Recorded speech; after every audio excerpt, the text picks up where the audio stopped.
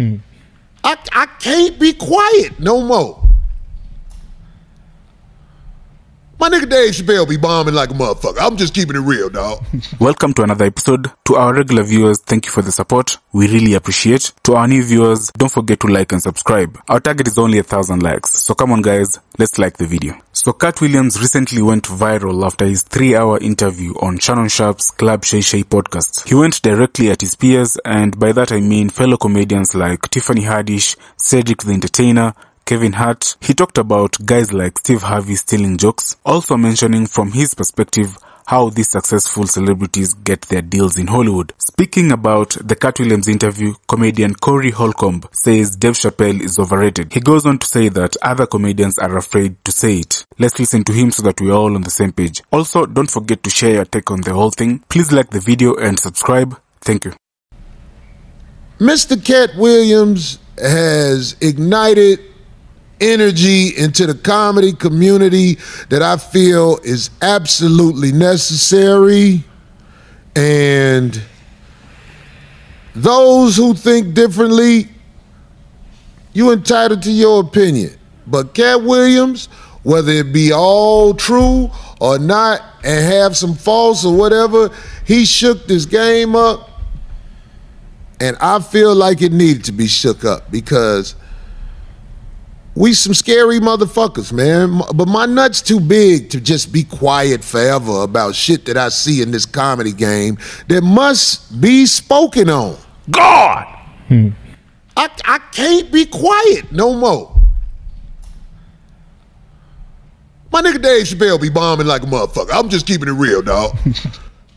I have watched whenever they say, "Hey, everybody, guess what? Special guest Dave Chappelle." I'll be like, "Oh, damn."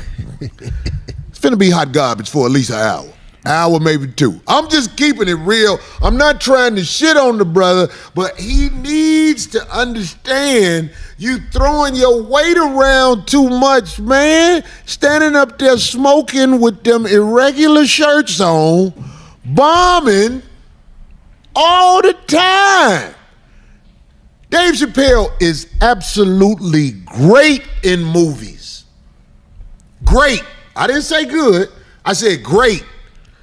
The motherfucking Nutty Professor, them scenes where he was in them movies with Martin.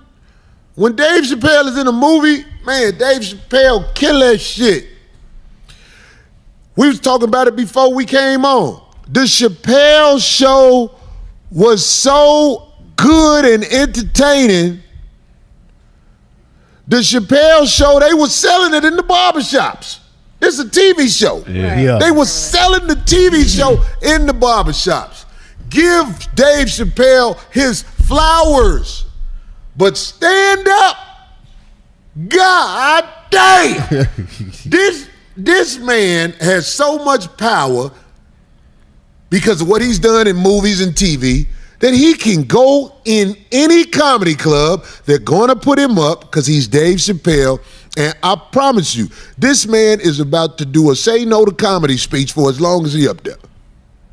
It's just nobody has the courage to say nothing because it's Dave Chappelle. But Dave Chappelle be bombing like a motherfucker. Now, I've watched Dave Chappelle specials. Out of every five specials, two of them are good. Two of them are good. You. But go ahead, D. no, no, no. I'm sorry. I didn't want to. I, I don't. I don't want to hog it all, but I'm just saying. Nobody has the courage to say this. The mm-hmm. only person who said something was Faizon Love about him being a little overrated. What do you think about this? Please drop a comment. Don't forget to like the video and subscribe. Thank you.